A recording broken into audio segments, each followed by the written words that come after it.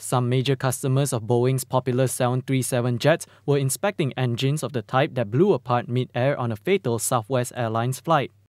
An early review of the failed Southwest engine found apparent metal fatigue where a fan blade had broken off. One of the fan blades, the number 13 fan blade, was separated and missing. And it was separated. It was separated at the point where it would come into the hub. So there's a hub, and then the fan blades attach to the hub. So this fan blade was broken right at the hub.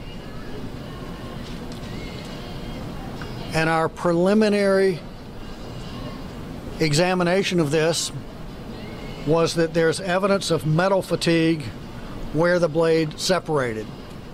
Southwest Flight 1380 made an emergency landing in Philadelphia on Tuesday after an engine ripped apart mid-air and shattered a window on the 737. Passenger Jennifer Riordan was partially pulled through the window. A passenger told the New York Times that Riordan was also hit by some shrapnel from the damaged plane engine. Passengers and crew dragged her back in, but she was unconscious and died later from injuries. Her death was reported to be the first in a U.S. commercial aviation accident since 2009.